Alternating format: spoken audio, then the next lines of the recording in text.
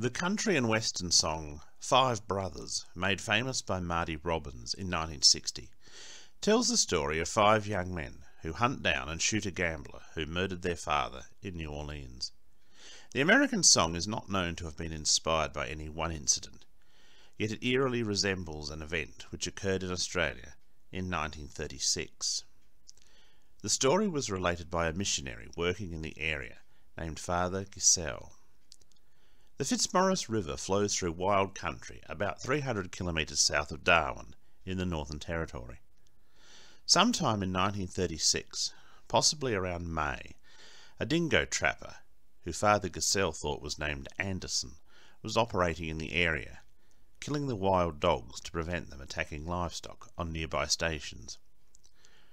For reasons unknown, some indigenous men decided to attack the trapper while he was laying baits. They crept up on him and he was showered with spears, at least one spear lodging in his shoulder. He managed to wrench it out, but he was bleeding heavily. Laboriously, the man crawled a considerable distance back to his camp. Knowing that he would not survive, and presuming that his attackers would raid his camp, the trapper prepared his last trap. Some time afterwards, five indigenous men, probably those who had killed him, ventured into his camp and helped themselves to his food supply. When police trackers followed the blood trail to the camp, they found not only the trapper, but the five men dead, their bodies twisted in agony.